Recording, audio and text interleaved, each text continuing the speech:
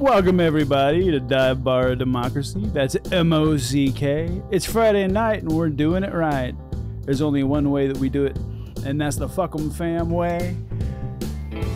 We have no idea what's going to be our topics tonight. We have no idea who our host is going to be tonight, but it's going to be the most random internet show that you ever will encounter. That's the one thing I do promise you. So, with that being said, let's meet the gang. Oh, remember, the duchy always goes to the left. Killer. We are. We, we really are. It's uh, decorum is really our, our number one thing that's mostly important to us, truly. hey, it's Disco D this week. The, the Texas Blue Bonnet herself is uh, going to bring us. I'm sure that she's got something to say about what's going on in, down in Texas. I, wonder, I wonder, do you, uh, really? Do you think you really think she might feel passionate about Texas politics? Of course. I mean, who did? I mean, it's a, it's just a fucking cesspool of. uh, I mean, it it. Without you know wanting to just say a bunch of curse words, it just because Which we it's- encourage thoroughly. you, you know i mean it's it's Yes. it's just so like it's fucking ridiculous and it's so corrupt like well ken paxton you know wonk, mr wonky eye wonky eye criminal con man just you know just you know got out of some those charges that he had about from fraud for for years you know like he So not fair. wonder how he got that you know It's almost like Trump But- called in and said, "Hey, don't prosecute him." Hey, what? Oh, But supposedly he's still going to trial for the whole thing that he was, sup- you know, supposed to be impeached for. You know that he didn't, you know, which he should have been, because, I mean, this dude just criming all over the place, and he's just he's suing everybody, suing schools, suing here, suing there. yeah, Paxton's trash. Like, I mean, he there's hard, hard evidence of everything that he did. Ever, like hard evidence. Oh yeah, I And mean, you know, Trump just called his boys in and said, "Hey, don't prosecute him." Yep. It's like with Ken Paxton, it's almost like he he like wakes up in the morning and says, "How big of an asshole can I be today?" Oh, school did one little thing I don't like. I'm sure I can sue him for something. Or at least just bankrupt them so they have to close Oh, their I vouchers. like Yeah, I mean- it really feels like that though sometimes. they didn't get their, you know, they called that the freaking house back what four times because they couldn't get the voucher thing passed, and you know, apparently that was on the Republican primary ballot as far as, but you know, they don't give a shit. They're really trying to get this voucher thing, you know, going, and and that's just that's no.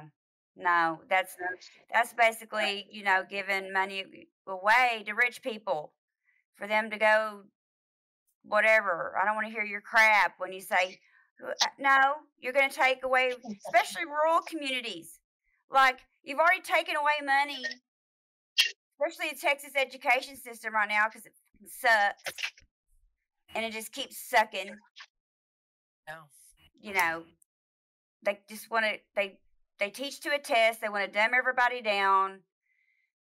Just sorry, it you know, and the whole you know, it's just it's just the slew of Texas is just like this epicenter of bullshit Yeah. that you know like the christian taliban crap and i'm like and so for some reason i look around and i'm like does at other people that live here and i'm like you know i get it but come on like just do you really want these kind of people running your your government?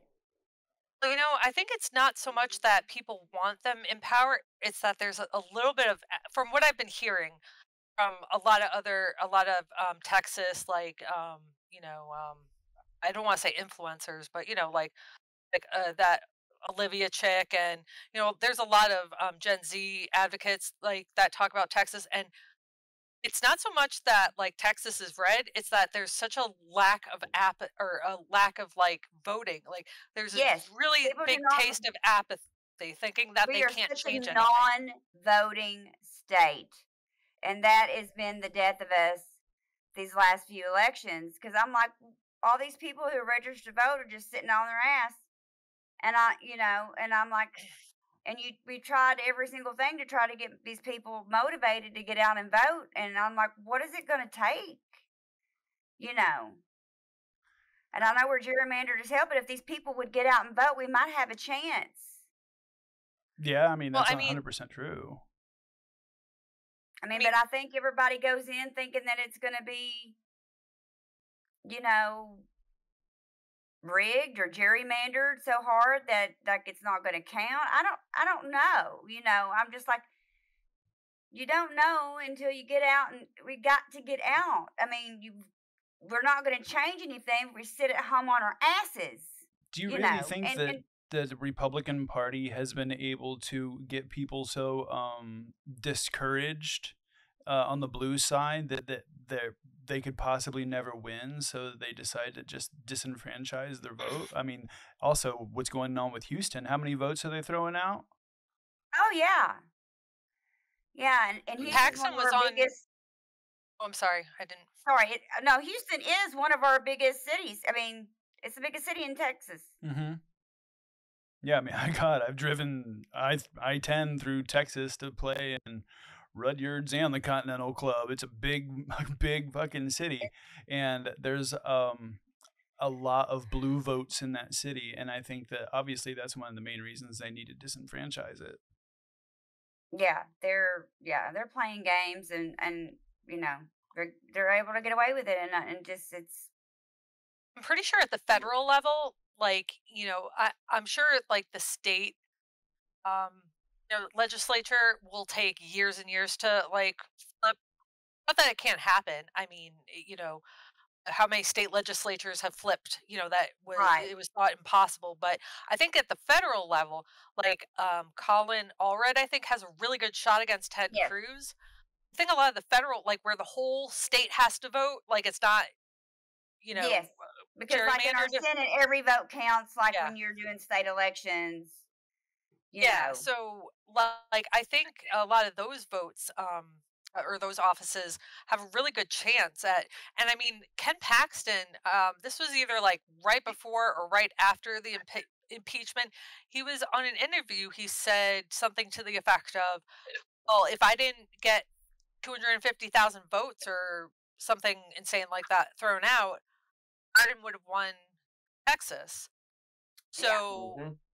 Like i mean and i know a lot of people are working hard it's just they you know republicans have worked so long and so hard and got so good at being louder convincing people that it doesn't matter what they do texas is going to be texas and you know when you're beaten down and beaten down like that it's you know i get it it's hard to when nobody around you is like you know we all have like our either each other or we have um, other family members or friends who are politically active to like say hey get back in that fight you know when you're when you feel like overwhelmed and beaten down but a lot of people don't have that and you know i get but at the same time you like if you have one thing that you can do is just get off your ass and vote even if you think it's going to do nothing right. like I Mhm. mean, George W. Bush became our president by 500 votes.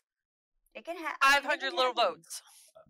if I'm not mistaken, during the midterms, um, good God, I mean, what was we? There was supposed to be a bloodbath. It truly was, but because negative partisanship has created engagement, uh, especially on the blue side, where we're really seeing not only we stopped the midterms, but well, for for lack we did we s- didn't stop them, but they were a hell of a lot better than they could have been. We stopped them.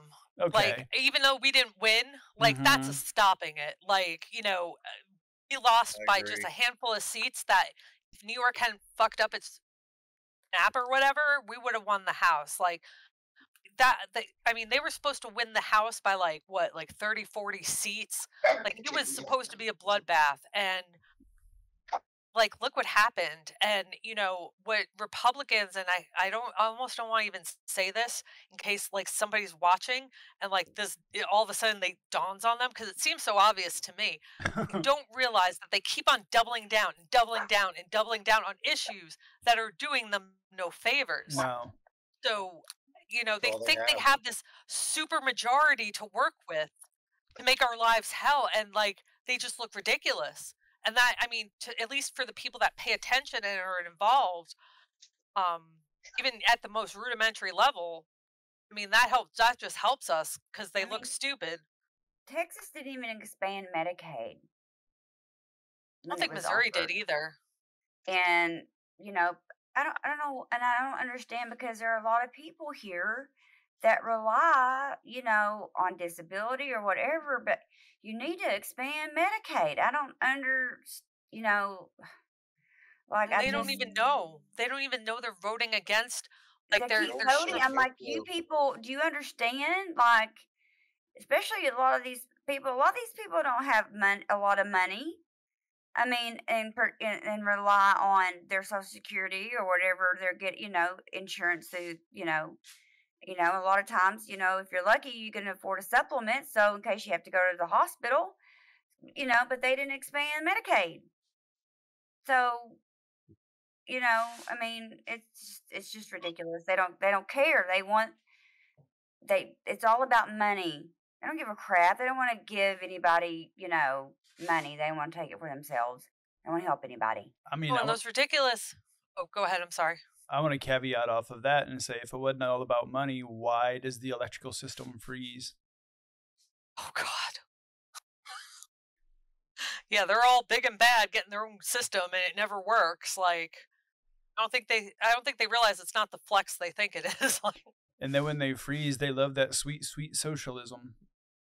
Oh yeah, yeah, they love they will charge saying us out bring the it back. ass and on gas when shit like that happens. Mm-hmm.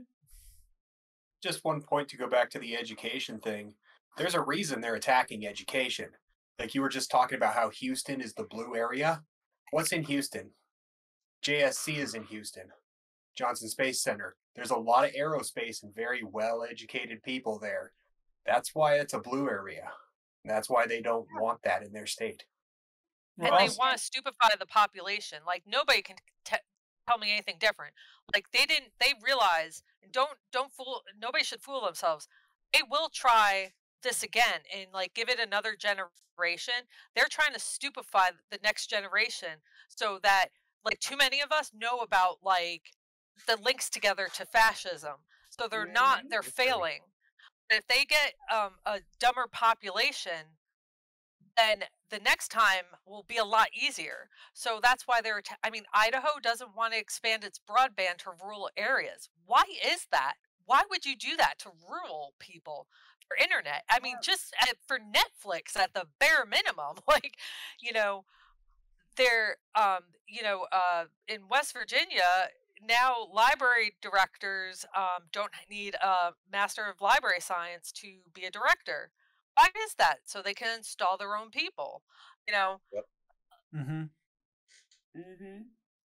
Yeah, I mean, I think luckily because we've seen the threat that fascism caused, and um, we sort of are banding together and rising up in the same way that the anti-fascists had to in the 30s. You know, if you listen to Ultra, you know, talks about some of the plucky anti-fascists that uh, you know banded together to make sure that they were heard, and I think that because we have had to do that again, but we've had to do it in a mass a mass way in which we're making content. We are uh, you know, sharing people, people. like Rachel Bitecofer's book, um, creating literal strategy to never lose elections again to lies, for lack of better words. Because, I mean, really, what do they have is lies.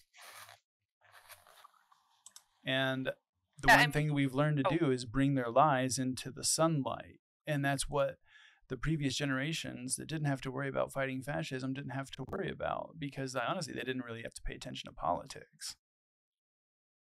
And we have a massive spotlight. We have the internet. Mm-hmm. Yep. I mean, when Charlie Kirk is sitting there putting uh, tweets out that say uh, Biden has more money than Trump, uh, we are the left is organized. We have more than five thousand people, boots on ground, registering people to vote. He says we are outgunned and outspent. When he's saying that, I mean, Eh, that that might have been mm-hmm. a three three in the morning rage tweeting, but there's a reason he's saying that. Yeah, I, I have something right here for Charlie Kirk. Hold on. Oh, there it is. But Hold on, let me let me, let me Well turn it up. played, It's still pretty well quiet. played. There you go. No, yeah. you know what's you know what's crazy about Charlie Kirk is first of all he's like he's like on point for using fear to like scare his little base up, but like Charlie Kirk, uh, audacity like he is so audacious. Like first of all, y'all should watch his um, debate with Rachel Bitecofer because it was actually like you actually don't hate him as much. Then you read the title that he puts under her at, for her uh for her debate it's leftist professor Dr- rachel bitecofer like everybody he debates that's on the left of sorts he puts like marxist this person debate with charlie kirk and like but what what's the icing on the cake is he says he's not bothered by the left we Mm-hmm. not necessarily us Right. mm-hmm. left from center to you know far left get under his skin because i mean he literally copied her book like i had no idea that like it was literally that that Yeah, close Yeah, the Yeah, cover even. to- Fucking jacket. and his his base won't ever know that he like basically you know what i kind of like i don't want to spend money on it but i kind of want to like skim through it to see like what he says because i bet you it's it's just like her book but like this is what they're doing It's and just like opposite Audible, did you world of every chapter, basically. Like taking what she says as facts and honesty, and then uh, just putting it through the uh, the spin cycle and um, yeah yeah, just the Fashcant original. and i mean i'm definitely not like li- you know because i'm a big audiobook person i'm definitely not listening to him for like two hours like i his voice like I'd rather shit in my oh. hands and clap. right yeah definitely So, so which chapter is labeled "Women Aren't People"? Oh, right? Yeah, probably. Probably the first and 15th. it's it's right after the eradicate transgenderism chapter. Yeah. Is is that right before or after uh when we say republic we mean empire? God, I can't stand. You know, um, I forget her name.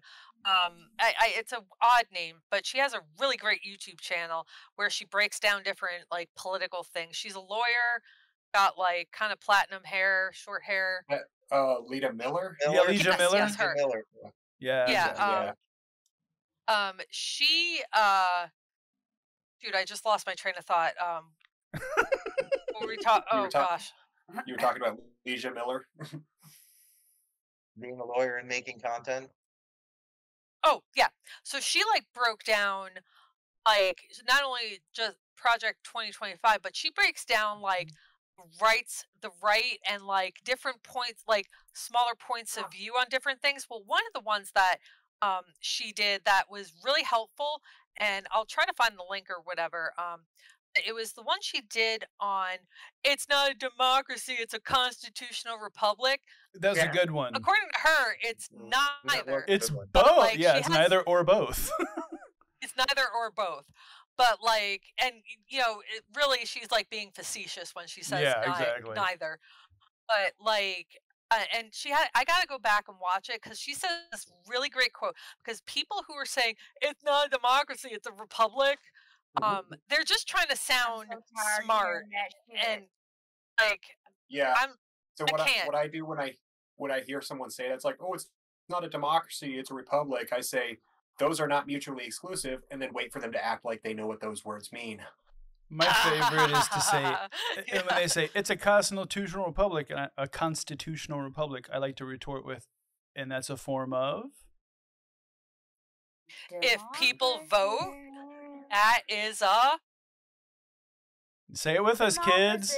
Democracy. us, kids. Democracy. However, a bad th- a bad faith actor will say a form of government. I've actually had that retort. Oh god. I was like, well, also this like- is obviously a bad It's faith no- fucking answer. pretty much no country in the world votes like has a pure democracy. Like they either have um, some form of a constitutional republic or a constitutional parliament, um, like some like mixture of those. Don't work. Yeah, pure democracy. I think Switzerland had one for a while, but I think they a parliament now. The But that was the only one- decisions. Yeah, so like it's not mob rule when like you're voting for representatives and all of the people all the representatives like if the country is mostly democratic which if you put the populations of new york and california that alone sways us heavily blue in you know and our our popular vote shows us that we're definitely will vote more blue when it comes down to it.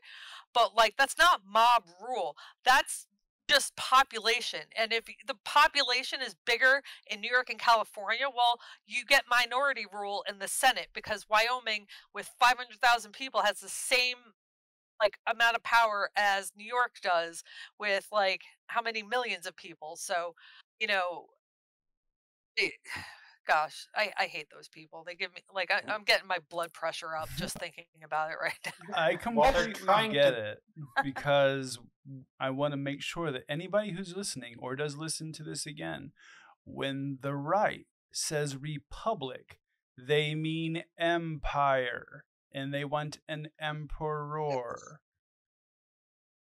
If questioned Yeah, about what do you Dun, think about the Roman. Empire, They want that. they will retort We with, What do. I think about the Roman Republic? They're trying to turn it into a republic or a non-constitutional or a non-democratic republic all the time. They're, they actually tried to pass a law here in Colorado that in order to pass any statewide voter, you know, voter referendum, they had to get over I think over fifty percent of the uh, less populated areas, like all the rural counties. oh come on Yeah, that's minority so- rule come on Like, it is. And like I literally had an argument with someone in my family about it, and they're just like, "Oh no, no, it makes it better. It makes it more democratic." And just like I don't understand the math of it, but it does. It's like I do understand the math, and, And it's it not doesn't. one person, one vote, so it's not democratic. No, I mean, what are you gonna do? Like have like runoffs after that, or like that's stupid. You know what? It- it You know what I wish. You know what I wish we had that I think is really smart. Um, is um, which is also more democratic, but a lot of people don't understand it, so they'll they'll like say no to it. Um, that ranked choice voting. I think that is a really good idea. Um, and they hate it. They're trying to get rid of it in Alaska. Oh Yep. yeah. I think it's great. I think it's such a great idea. And like if they really understood it, like they would love it because it gives them more chance for their guy to win versus um like no chance. I like Yeah, we have the that in California, and our like our primary had you know five or five of each Republicans and Democrats, and you saw everything, and it was just top Republican, top Democrat gets gets to move on. That's the rank choice kind of thing. Yeah, they get they get all weirded out because like okay, if you the guy you voted for is last, like those votes get your second choice like if you put a second choice then that like they don't get that that it gives more of a chance for your dude to be the winner just by listing yeah, i don't know how many you can rank but um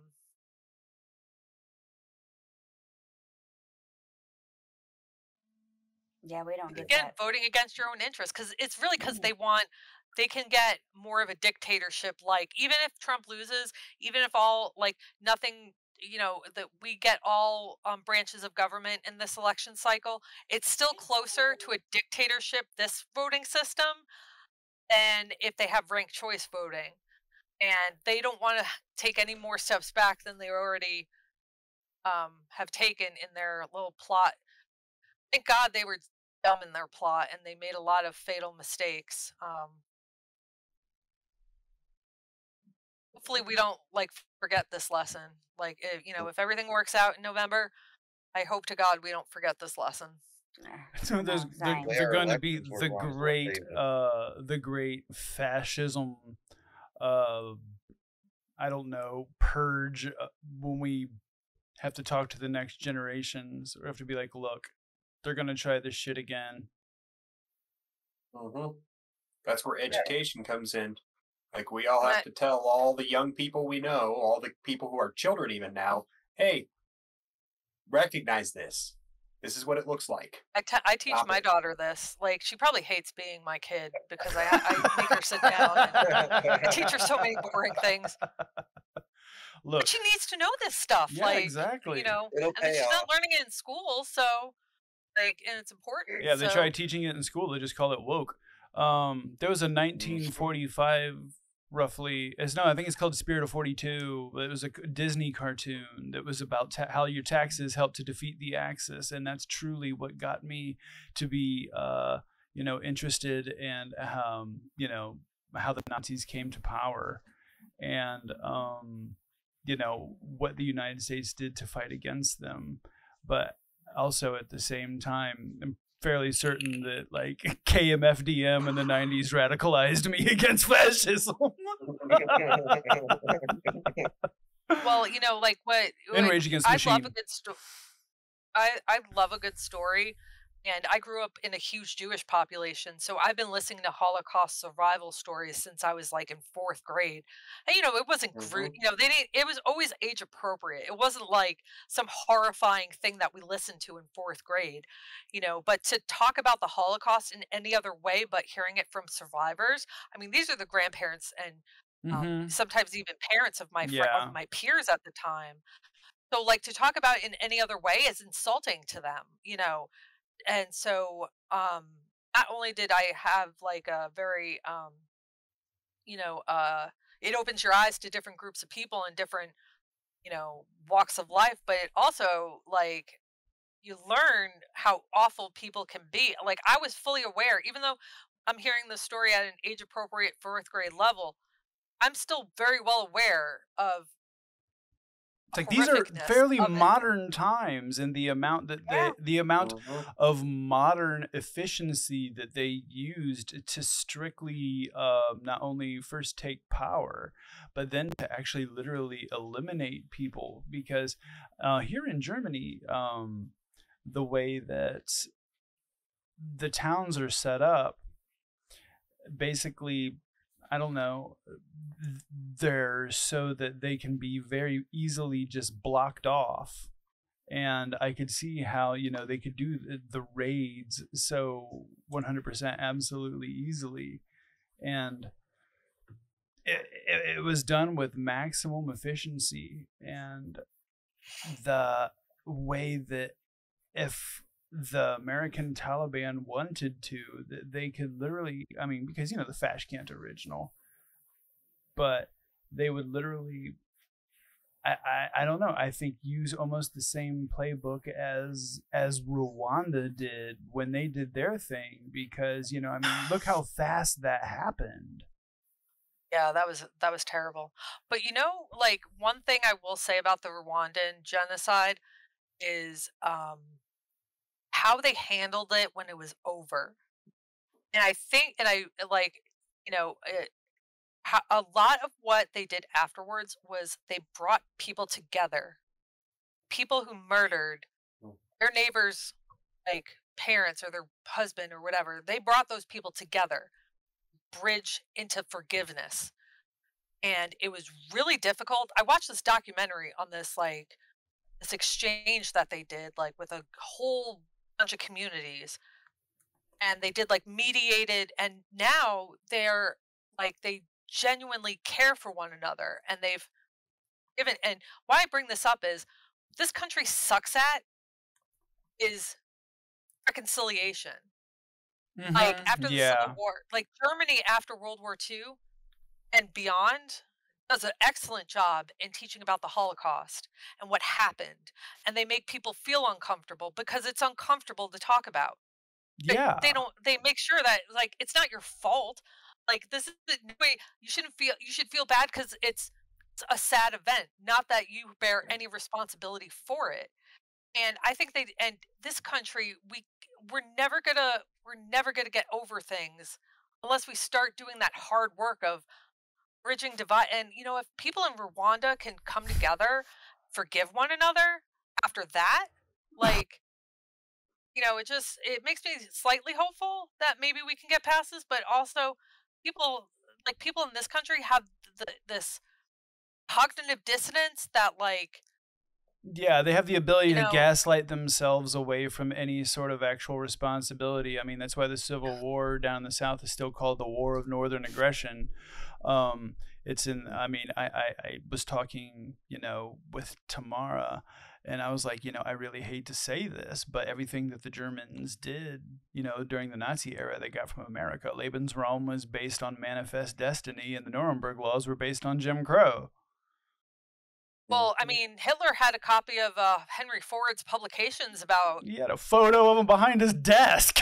yeah, anti-Semitism and like his ideas on essentially Jewish genocide. Yeah. So like, Yeah. I mean, I'm sure they came up with some of their own flavor of genocide, but like essentially, yeah, they, I- they got a lot of ideas from uh, from us. Yeah. And it's crazy how quickly that got forgotten. That we were so we were pretty close to um a fascist. Uh, hmm Well, I mean, not only do we have internment camps, uh, but also, you know, I mean, uh, we had a huge fash, you know, supporting population.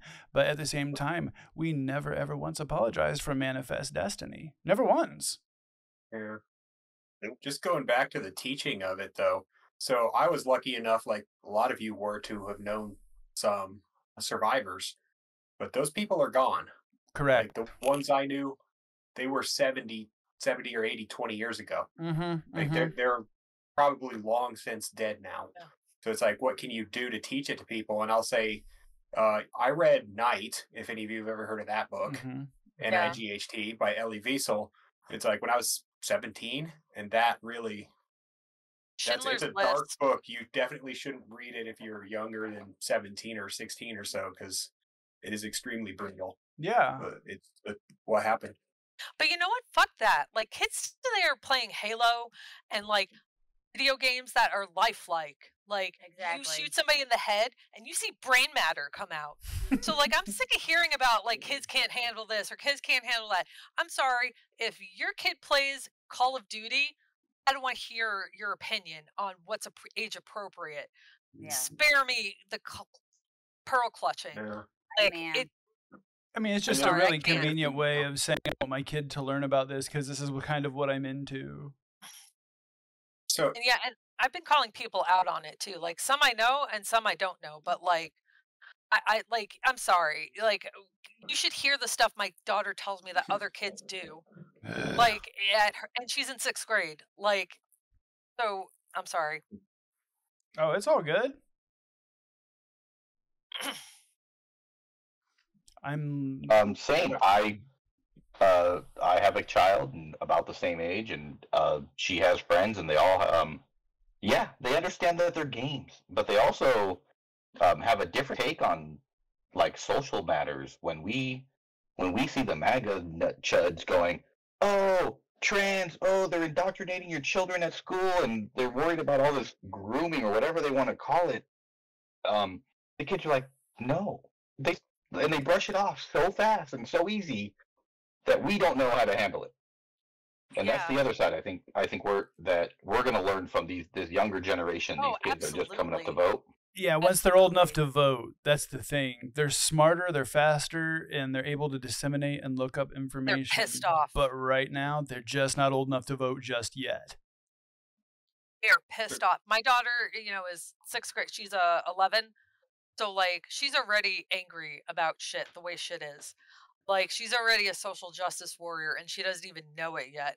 And, like, what they don't understand, uh, like, when you're talking, like, when these GOP are talking shit about, like, trans people or gay people or Muslim people or whoever, you're they're you're talking about their friends. Mm-hmm. You're talking about their peers. And will some of these kids become hateful assholes? I'm sure a, a Mhm. lot of them are like you know it's not a white country anymore a lot of their friends are are uh, you know brown and different colors and y- you know so when mo- a lot of their friends half their friends are, are brown of some sort of, of shade and you start talking about people like that they look at you like you have 10 heads like Yeah, you talking they're like, about? dude, My that's fucked up and gross. Like, you're yeah, like, you sound like the are you uncle we don't invite to Thanksgiving. Yeah, so like, Yep. You know, they they are growing up in knowing a lo- lot more than like when I was my daughter's age. I was reading Babysitter's Club, and I barely knew about like I knew what sex was, but I didn't like know about sex. Like I was still like, like you know, I and because of the like the internet and social media and uh, their friends, eh, you know, they know so much more and but they in a good way in a bad way it weighs a lot of it but like Yeah. It- they're so aware and they're so over adults I completely and completely like what they have to with it. deal with in school yeah. like the Yeah. gun stuff you have no idea how much that really does bother them even though uh, you know because statistically they're going to be in a in their school's going to get shot up statistically speaking god forbid that Mhm. i hope that doesn't happen but at the rate we're going so Yeah. like doing lockdown drills that gives them anxiety you know So, they're ju- like they just don't understand like they're really just shooting themselves in the foot for future generations. Yeah, I don't think the Republicans consistently voting to put children's lives, uh, I don't know, put guns above children's lives are not going to win them any favors when they're literally having to grow up doing mass, sh- I mean, doing shooter drills. Like we didn't have to do that. We had to do tornado drills and you know things of that fire sort. drills Right, right, Oh, yeah. right. But uh, they're not going to forgive the politicians who, when they say, you know, there's, let's take, you know, Tennessee, you know, and Burchett being like, well, we ain't going to do nothing about it. my kids are homeschooled let's Mhm. be nice But yeah, I, want to go back to something you said earlier because fascists have already made a huge inroad since the 1930s. We thought we got rid of them, we didn't, because you mentioned earlier internment camps, right? So we had those, and that, George that Takei grew up in one. Yeah, that policy that the people who created that didn't go away. So do you know who pushed the most for that policy and talked Roosevelt into it? Does anybody know? No. No. Earl Warren. He was Get after out. that. After that, Chief Justice of the Supreme Court. There's wow tons of jurisprudence to this day based on that racist fuck's point of view. wow i didn't Right, realize so- that That's Right. the fascist inroads that they have into our culture that still, like, every time you talk to a cop, you know, that's governed by Terry versus Ohio, which was Earl fucking Warren. That just, Like, that's infuriating. yeah. But, you know, as as much as like kids are you know a, a, a bit smarter than we are like the gop has set us back at least 10 years Oh my god, yes. Doctor, d- you know, the doc um made a really good point. Like we were so close. We were so close to so much. Like we were so close to the pet projects. And like, you know, and if we had elected Hillary, it would have been okay. We would have been okay. And you know, we might not have had the houses, House and Senate, but at least damage would have been done. And then like, you know, so much has been set back. Like Roe, uh, Rose gone, um, and getting getting Dobbs overturned. I mean, we're gonna have to wait another generation, or you know, get it codified into law. But who's to say they won't bring that to the Supreme Court? No, it, it's like we are so Yeah. far back in a lot of ways that it's it's Sure. and if we're not careful if we're not careful because they're doing a lot of preparations for this generation to be Mhm. dumber to be um you know to strip away education which is going to shoot us in the foot Y- you know you want to be the richest wealth, wealthiest country in the world half the reason is because we, we educate our public i digress but um you know so much has been laid out to to make it successful in 20 years.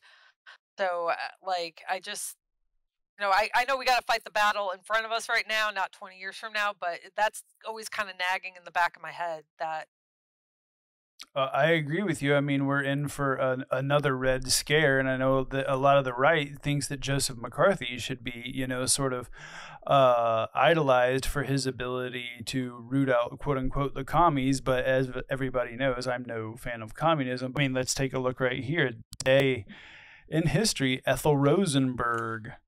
We all know about Ethel Rosenberg, right? Ethel Rosenberg yeah. and her husband.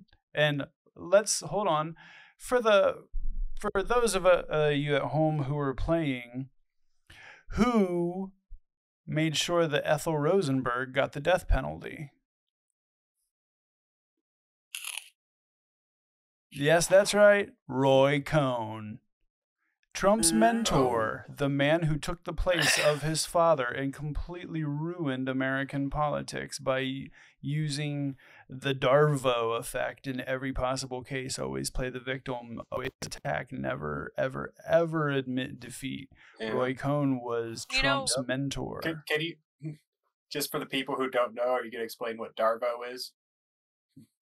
Darvo, my friends, is a manipulative tactic that is used in order to completely deflect blame off of yourself and put it onto somebody else.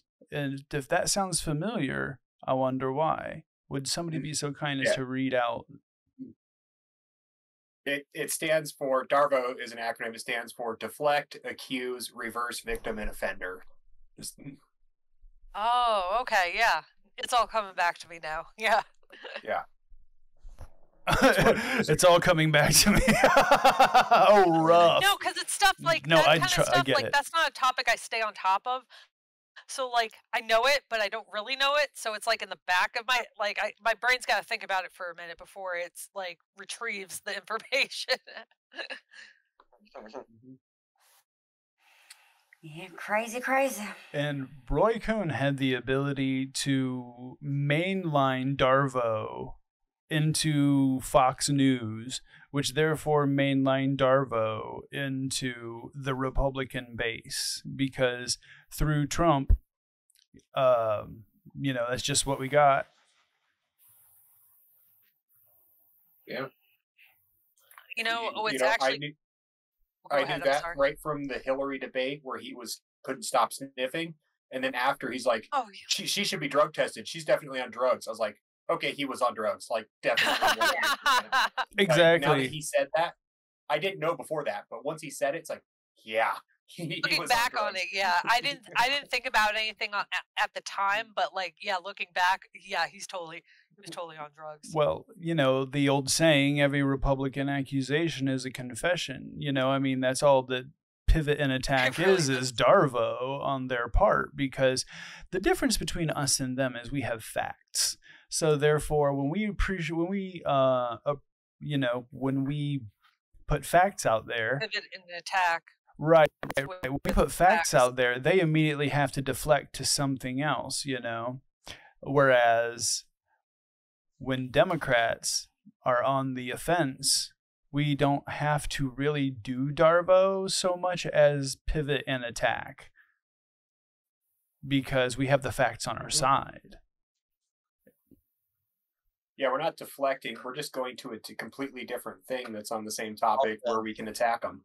We're not like, oh no, you did that. Mm-hmm. No, no, no, Yeah. okay, hold Yeah, we're not, we're not Nope. falling into the defense. Like, no, no, let me No, show you. Let me, let, I, Yeah, I yeah, yeah. Right. It's like, Yeah. Exactly. I You would tell hand over your BlackBerry Tony Bobulinski. Oh God, that guy, that guy. You can't tell me you don't know who invited you. You get invited to the presidential debate. You're hanging out with the candidate and a bunch of his goons. And you don't remember who invited you? You Oh. don't remember who invited you. No, Like, no, no, not at all. But however, he can recall every little minuscule detail from when the Republicans ask him a question. It's really funny. Isn't that? Isn't it, it's funny. It's weird. like he didn't look like he tried to pull like like a uh Goldman uh what's his first name? The the congressman Dan. um Dan, Dan Goldman. Dan Goldman. Yes, yes. Like Dan Goldman is like kind of like a pit bull, and so is like uh, um, Moskowitz. I want to say Greg Moskowitz, but I went to high school with that kid. Like, Jared. J- Jared, thank you. Um, Jared, like they're like the pit bulls attack, and he was trying And to Crockett. be like a pit bull attack, but he just looked like a douchebag because he like you can't be an asshole and a liar. Mm-mm. It has to be one or the other. If you're going to be an asshole, you have to tell the truth. And they don't realize that. Like in their little scheming, like it's like you can't be a you can't do illegal things and be an asshole either. Because if you do illegal things and you're an asshole, somebody's going to try to like Yeah. dig and find out and then they're going to find out you're doing mm-hmm. illegal things cuz you were an asshole. But Yeah. like you, you Well- can't do both. Like every defense attorney will tell you, don't break the law while you're breaking the law. You know, if you know what I mean. It's Yeah. like don't speed. Uh, wait, you know, don't well, don't massively speed when you have meth in the trunk or something like that. It's like, don't break the law when you're breaking the law. You're gonna Right? draw attention to yourself, and that's what Trump did. Yep. Don't videotape the uh, the document room where the classified docs are. Maybe don't do that. I don't know. Yeah, that's their defense in uh, Georgia as they're as they're gearing up for that trial. They're like, yeah, but we had you know First Amendment. We could say anything we want, ignoring all the No, other laws that they've broken. ah, yes, yes. Freedom of Well, speech you is not can't. freedom of consequences. Yeah, and guess what? You don't have complete freedom of speech. Like we have pretty good freedom of speech here. You know, we're on a podcast, whatever. But we can't just be like, yeah, tomorrow I'm gonna go kill whatever person. We can't do Yeah, that. that's not how that works. Yeah. Hmm. and like you know if and if we know that you're serious and we do anything to not stop you or if we let like if you ask us to borrow $20 so you can buy a shovel then we're like part of the conspiracy to commit murder and just as liable for that murder as whoever did it so like you know there's only so much you can say before it becomes a crime. Like you can't commit a crime and talk about like you were talking about it before you commit Mhm. committed the crime. Then you committed the crime exactly how you talked about it. Like, dude, that's called conspiracy. You planned to do something and you did it. Like To quote Ari one Melber, do you realize you're describing a coup? Yeah. That's like one of the very few exceptions to uh, doctor patient confidentiality. Like if you go into a psychiatrist and you tell them, oh, I bought a gun, I'm going to go do this thing tomorrow, they have to report you actually. Yeah. I mean, otherwise they're breaking the Hippocratic Oath. I'm Mm-hmm. a mandated reporter. Like if somebody tells me like they were assaulted or you know they they have they're gonna do like I have to report that or you know I can not just lose my job but like be just as liable for not saying anything. Because if they find like go through that person's e- let's say they tell me through email like when they're asking me about a question for class you know they'll go through their email and see they emailed me and you know so like you're just as liable. So like all these people who are like i didn't do anything. I was no if you are if there's documentation that you were with people who did this then you are just as liable as they are i'm no attorney but like you know that's how like that's how it works like you know it, Yeah, I mean, John Eastman is learning that right now about, you know, you cannot be uh, an attorney and also be in on the crime. God. God, yeah, and he knew. Like, I- it's just amazing. These lawyers that they they knew what they were. They had to have known what they were oh, doing. oh, everybody knew. and just like, like- Oh, they do. just like yeah. Johnson and Sessions knew about Russia. it's just like, how did you not think that you would like? They must have genuinely believed that they would get away with it and Trump would pardon them or something. Because, like, but eh, how did you think That you were going to get away with this? Like, I mean, It's the same. It's the same thing with the people that that be, between November and January sixth, where then one of these court cases was going to turn it all around. They're going to turn it all around, and then after Mhm, January 6th mhm. they were still one of these court cases is going to turn it all around. I Mhm. found one today who's still saying one of these court cases will turn it all around. They're still they they're just stuck in a in a loop. They can't they can't original, and they have no other idea. And I'm I'm really Turn beat around. I'm really glad that Georgia is state law.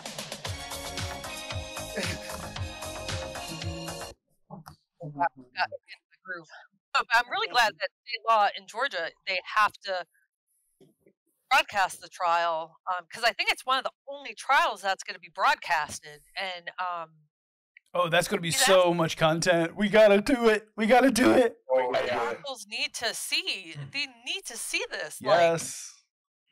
You They, get to see Trump there with his stank face. Just they need our whole snark time. on top of it. Oh yeah. Oh yeah. Like election lies are free speech. That's just nuts. Like I don't get well, it. you know, people in like the going back to the Rosenbergs, they were executed. I don't know the the whole thing that well, but like they essentially had like classified documents and were caught as Russian spies, right? They were executed Yeah. for a lot of what Yep. Trump did. Right. They had They the ability exe- to we not be executed. executed, but Roy Cohn pushed for the death penalty. and There's a documentary about their par- about their uh their si- I mean sorry their children going and uh looking at the prison and whatnot and being like you know I mean what they did was wrong and there was it was proven that they could have been sentenced to prison without the death penalty but Roy Cohn he you know he he wanted to make his name. It's just like people were executed the same crimes. I mean, that one kid in Massachusetts who leaked stuff from the National Guard, like he's in prison right now. He had his day in court and everything. He's already jailed and sentenced. mm-hmm. I mean, like, how is that? How can people reconcile that with themselves? Like, you know, do you people, know what his sentence was? a l- I it didn't was, hear about it. it was. I think it was a while. I want to say it was like seven to ten years. Okay. I might be wrong on that. It's guilty Yeah, until proven wealthy observer. And it's, it's like, you think Trump is being like treated unfairly? Are you kidding me? Why don't we go ask the Rosenbergs how they feel? exactly like, why don't we go ask that kid who was just being stupid? And I with, think they were know- giving away nuclear secrets too. I yeah, I think they were giving away is, uh, Israeli nuclear secrets too, because they gave they gave away one of our allies, and I'm pretty sure Uh-huh. it was. I think it was. I'm pretty sure it was Israel.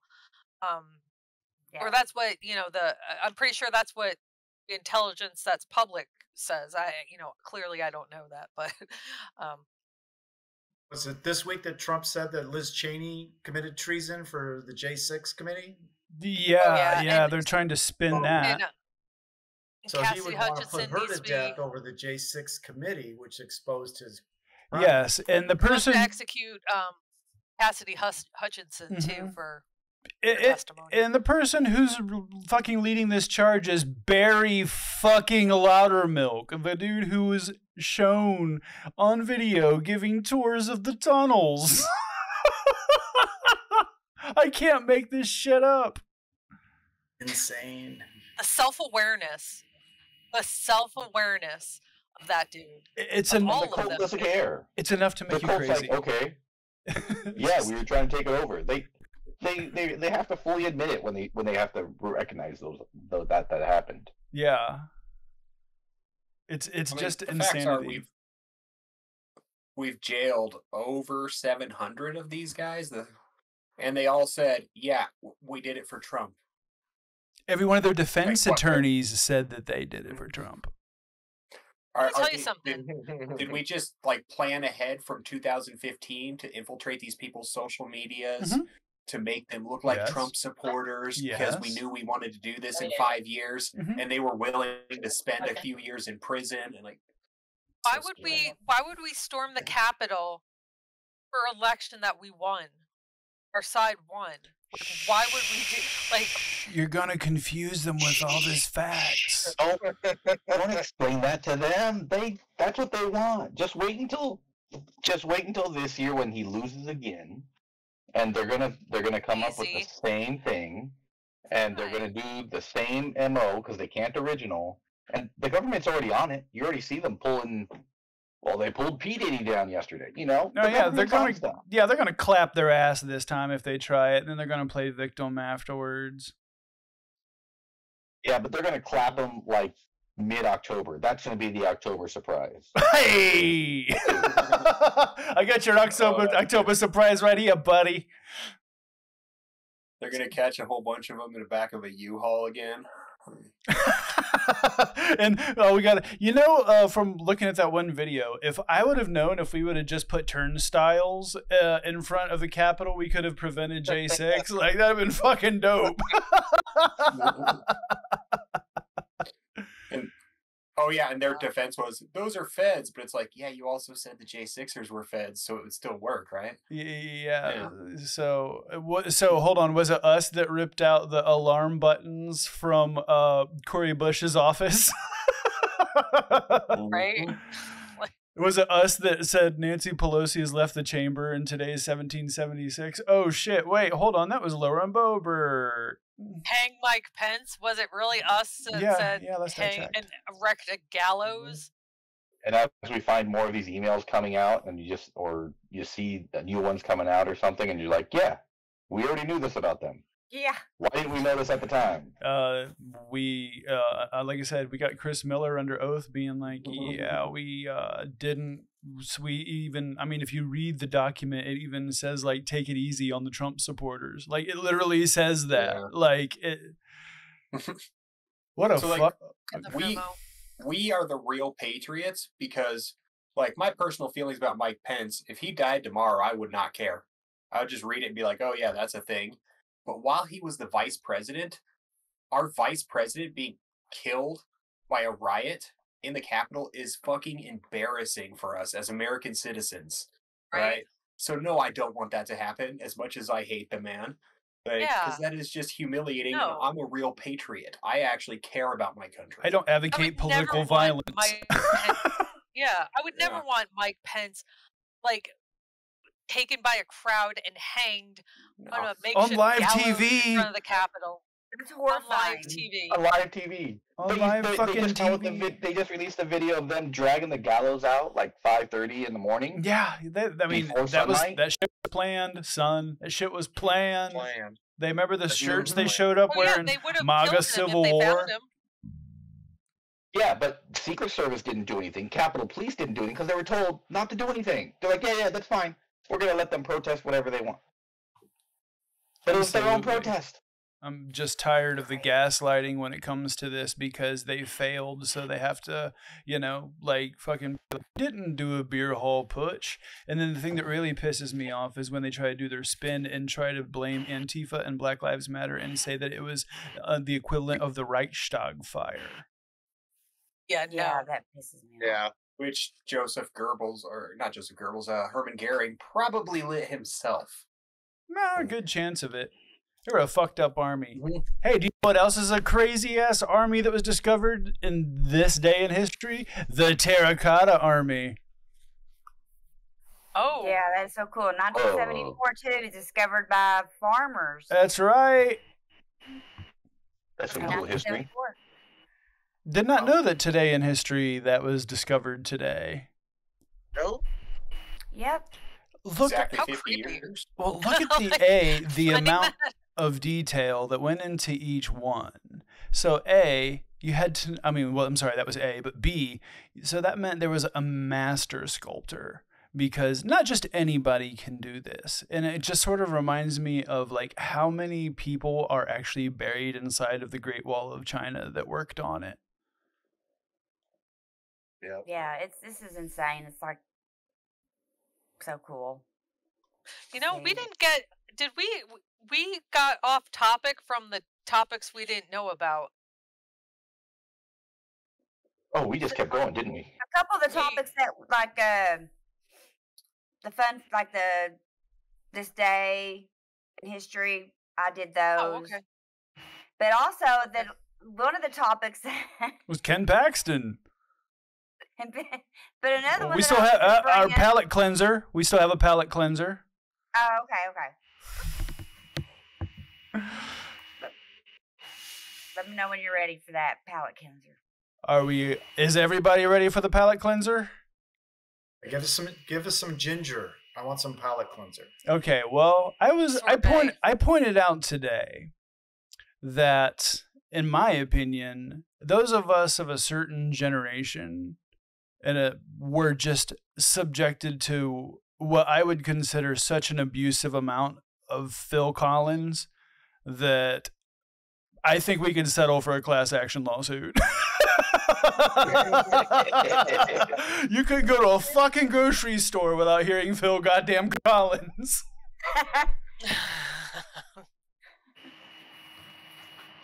That's funny. And apparently, this was from a Texas newspaper. Why did you feel the need to send me this article, Deidre? Because I was like, oh my God, we were just talking, we were just making jokes like that. And I thought, oh yeah, I was just, because I just realized, I just found this out not too long ago about this whole Phil Collins having like Alamo, Texas and Alamo like collection. So like that he donated and now there's a, a whole museum building, I guess somewhere near the Alamo where he where there's all this stuff that um he had collected and it's pretty insane and I was like yeah, I just thought that would be that was just kind of funny, you know, since we were just making jokes and I thought I just thought it was the weirdest thing that Phil Collins had a thing about the Alamo. You know, he was like really enthralled and you know, really liked Eh, the Alamo. they all have a thing about losing wars. We lost the Alamo, right? Yeah, I'm like, yeah. The I funny mean- thing is that they were actually fighting to like Oh, uh, fighting you. against slavery. Santa Anna was. Hi. That, I think that well, that was during our Texas independence from from Mexico. That was that. The Alamo was during that part of it. It's like during That those Glanton gang days. Yeah, we were trying to become the, you know, our own thing, and you know, we were, that's why the Lone Star State, you know, for a while, and then we joined the this the states, of course. But anywho, I, it was just, I guess for some reason it says in that article, I did not realize that he had collected all the stuff. Like I'm talking about, you wouldn't believe the collection that he had. That I guess as a boy he would. There was a thing on Disney or something that was about like mm, Yeah, can, can I read it for everybody? Mm-hmm. Please. so. Col- anyway, I just thought Collins that was built- a fun fact. Yeah, Collins built a collection over several decades, purchasing some items and even discovering some others just steps away from the Alamo itself. Collins fell in love with Alamo's inspiring story as a five year old boy when he came across the Disney production of Davy Crockett, King of the Wild Frontier. When other children were out playing cops and robbers and other childhood games, Collins says that he was reenacting the Battle of the Alamo. And Right became on. his Hey, passion. I'm a dork too. Like Yeah, I I, I won't judge I his just find inner that- nerd. I found that so fascinating because I was like, wow, like they would be like the last person who had ever thought that would have. That yeah, would the take- Alamo. Uh, yeah, I would. That is You know, odd I mean, for Phil Collins of all things. yeah. That now I might have have that been one. song stuck in my head. That might, might be one of my topics for a future show too. Is Disney went from defending World War II to like doing Americana for two decades, and it is part of our historical take of a lot of things nowadays. Yeah, there's a lot of Wild West revisionism done. Yeah. Yeah. So, so what kind of changes were made? You know, that could be a, you know, that's a lot. That's a whole conversation in itself. Yeah. But now there's a whole. Somebody went in there that I knew. I mean, it's the collection. I mean, it's insane. Like guns and things that people have worn, like Davy Crockett and stuff, and guns, and I mean, all just all kinds of different. I mean, and I didn't realize, but it's been recently opened, so I didn't realize it was there, and until recently. So I was mm. like, well. I guess we'll talk about that since that kind of ties into our Phil Collins, you know. So, I just, I was. in Texas and Ken Paxton. I'm gonna be you really honest. I was watching American Psycho, and he was talking about Phil Collins, and I was like, "Ma'am, it is absolutely insane just how much Phil Collins we were subjected to on the reg." Yeah. I thought there was only one Lion King, right? The guy is in jail. Now, now Phil Collins did the whole Lion King and Tarzan. Yeah, he some did guy- Lion yeah.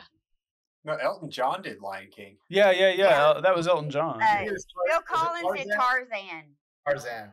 No, didn't Phil Collins do a "Can You Feel the Love Tonight" in The Lion King? Yeah, I, I thought he did a song in there. I thought that was Elton John. John. Yeah. That's Elton John. That was Elton Oh, John. am I thinking it wrong? Okay. Okay, uh, if we're sitting here, I'm not going to completely bash Phil because uh, Always the Same has a groove that you can drive your truck through, man.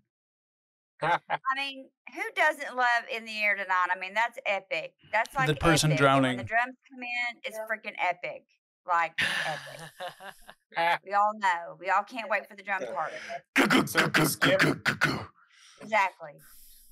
So Skip, what you're basically saying is you're like Richard Hammond from Top Gear. You just hate Genesis and Phil Collins. and uh, no, no, no. It's I can't say that I di- I hate them. I can just say that there was so much. Like I can always like it was that or the Eagles. Like life happened to Phil Collins or the Eagles if you had the radio on. It was like mm. that's just how it went. Or possibly aha.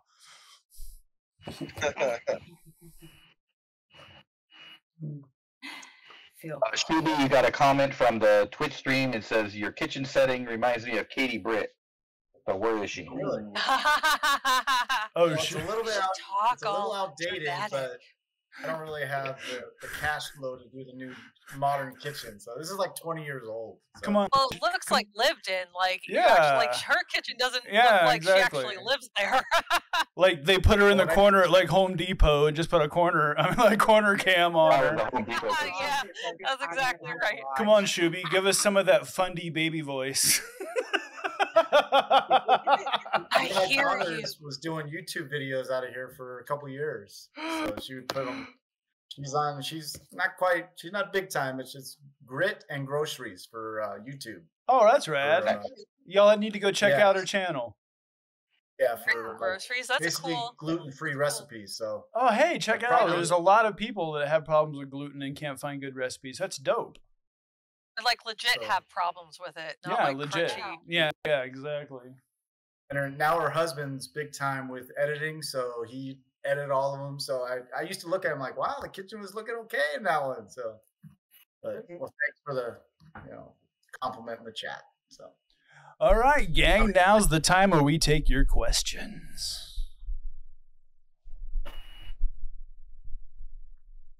There's a man named Tony in the chat. Want to wish him a happy birthday?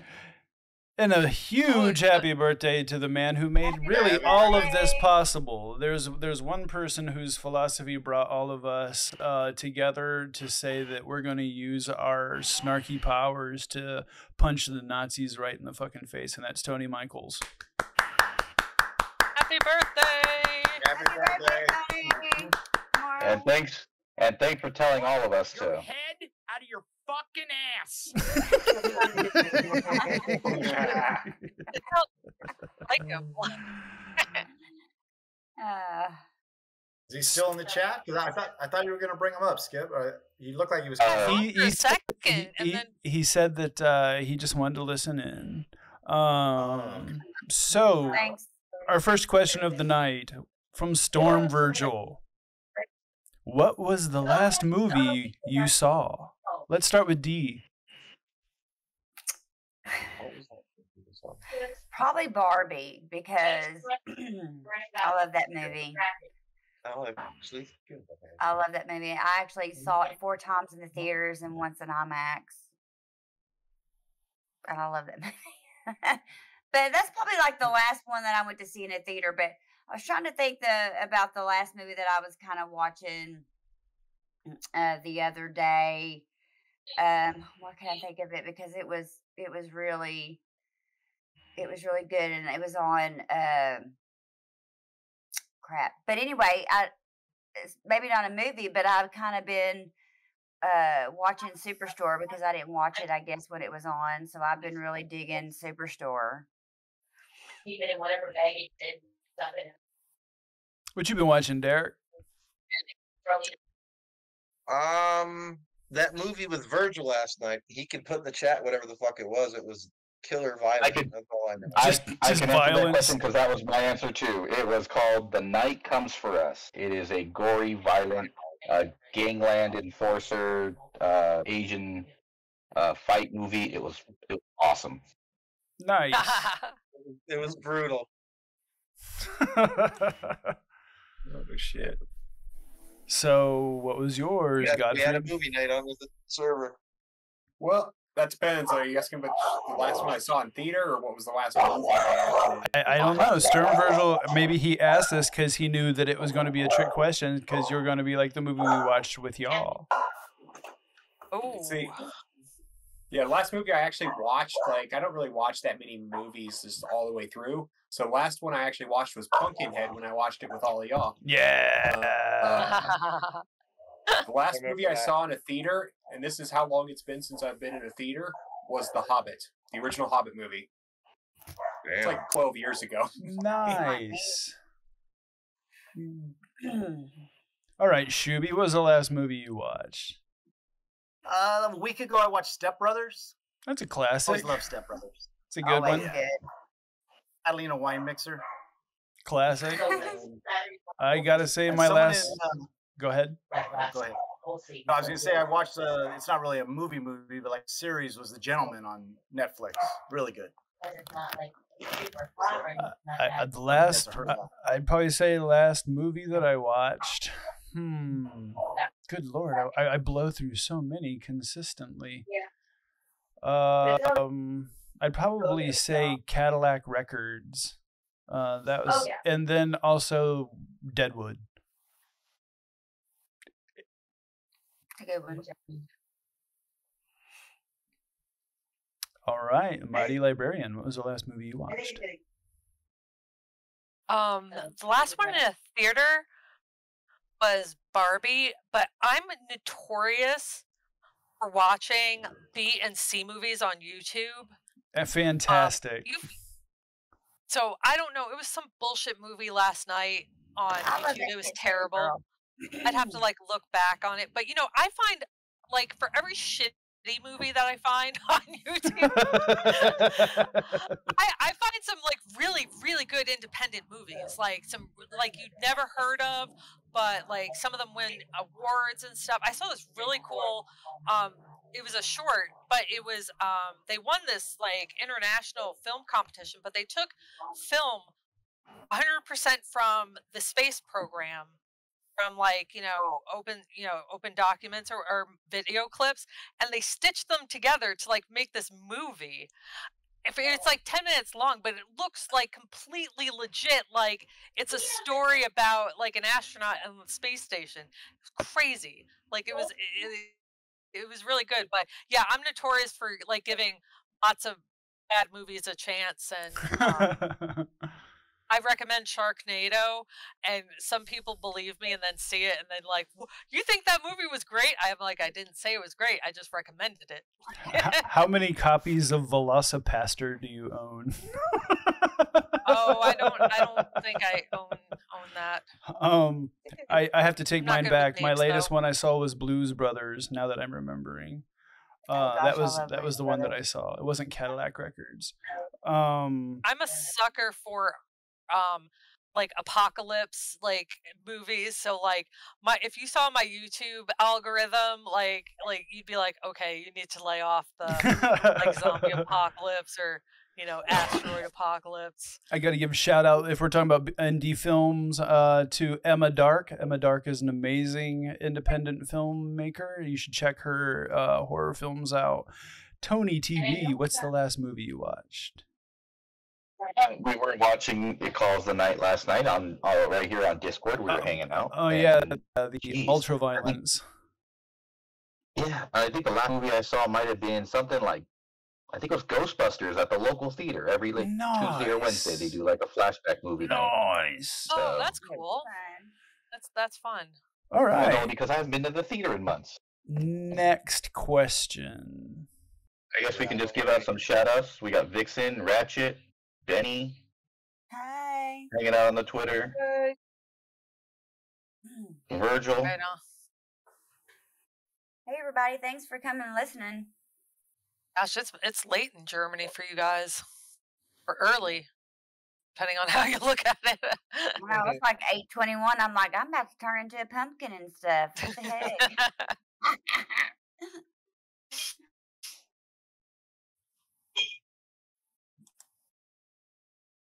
oh, I well, that's still er, like late slash early, two twenty one. I thought it was like for some reason like three or four a.m. Um. Oh, you guys don't do you guys don't do daylight savings anymore, do you? There. I don't know why we have to do it still. I want to go back to standard time. I hate daylight savings. Hate it. I, do hate it. too. Skip, wanna- we can't. None of us can hear you. I can see you talking, but none of us can hear you. Yeah. I'm not sure if the can the picture went out too. Oh, you're amazing too, Vixen. Thank You have you, the best phone voice too.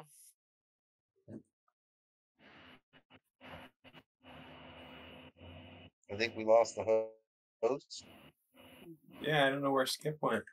Oh no. But like, if we get rid of daylight savings, I don't want to be on daylight savings all the time. I want to go back to standard time. I want to get my hour back, and like, Mhm. I don't want it to be like ten o'clock at night and the sun just went down.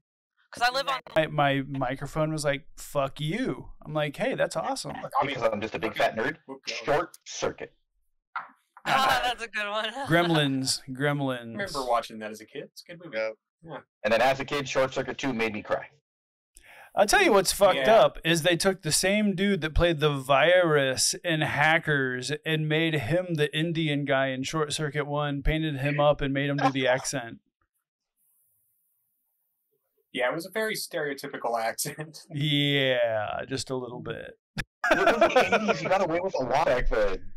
Yeah, yeah. The, it, you can't fault them for the 1980s. Oh yeah, a lot happened. but I, I, I would have never ever thought that that was actually the virus from Hackers. Remember that? Remember that Yeah. movie? Not only, Oh yeah. yeah, it not only had one of the Yeah, best forgot about that soundtracks of the '90s aside from The Crow, but um, yeah, that was that was him, the dude that, that was the virus. And then I think Penn Jillette was in that movie too. Oh really? I didn't know that. Yeah, absolutely craziness, huh? Yeah. Okay, I think I got mine. Okay. Okay, like actually, there's like three that I like are tied for first place.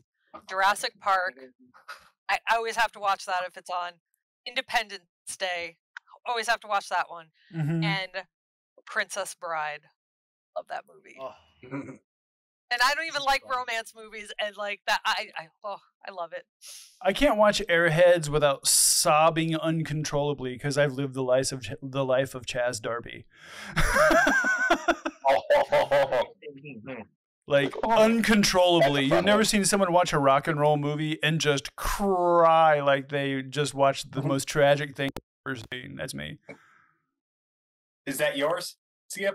What's that? Yeah, Airheads is like the story of me. Aside from I never ever like you know had to hold up a radio station like in order to get my demo played. They just didn't play my demo. It was really easy. Um, what What about you, Shub? Well, if I'm gonna just go with one, it's it's Field of Dreams.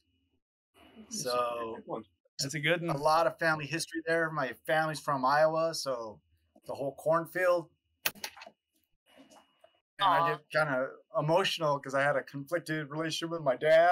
So Oh yeah, I so that totally whole get it. story- Yeah. I get it. story he had with his dad was, you know, crazy. So I had the same thing. So I can't even talk about it right now. So I'm gonna mute. So oh, Oh, completely no. get it. that's my number one.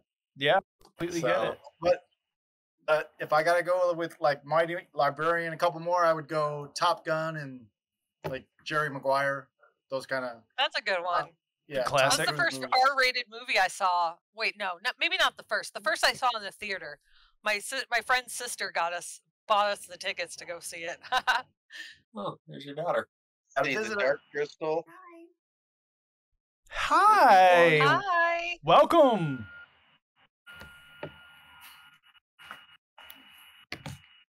Dark crystals, is that what you said? Oh, Dark Yeah, Crystal's Dark a Crystal would classic. be one. Mm. Oh, and the color purple. Oh God, was a color good purple. Woo. Gotta I- crush yourself, man. Crush Man, your it- soul. I- If you if you Yeah. didn't if you didn't like Danny Glover or his knees Yeah. prior,